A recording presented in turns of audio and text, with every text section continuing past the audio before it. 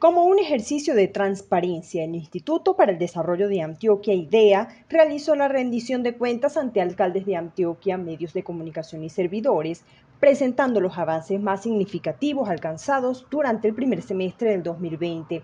Alivios financieros por más de 20 mil millones y 100 mil millones para proyectos de inversión y reactivación son parte de los logros alcanzados.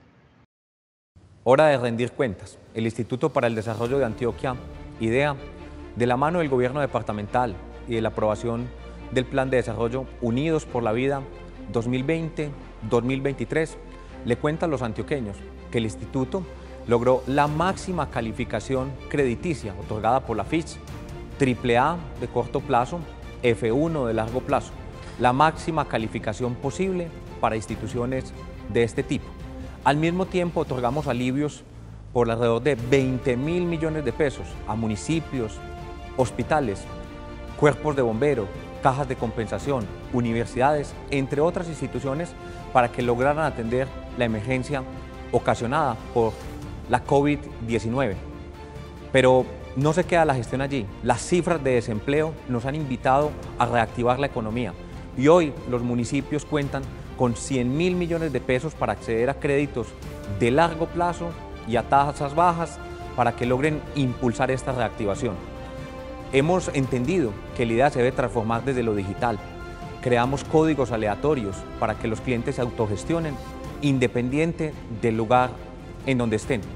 Esa transformación digital también nos ha llevado a automatizar procesos y a crear el primer robot que permite hacer seguimiento a listas restrictivas, ONU o FAC. Pero la gran noticia que también tenemos en medio de esta dificultad para los antioqueños es que tenemos la cartera vencida más baja de la última década. Eso nos llena de satisfacción, pero también nos muestra que cada día las prácticas en el instituto vienen mejorando. Lo anterior se suma la entrega del proyecto de vivienda Balcones del Café en el municipio de Concordia, en convenio con la empresa de vivienda e infraestructura de Antioquia Viva y el convenio firmado con la institución universitaria digital de Antioquia por más de 27 mil millones de pesos para el programa Becas Zona Futuro, mediante el cual se ofrecerá dos programas tecnológicos en gestión catastral y agrimensura, además de desarrollo de software.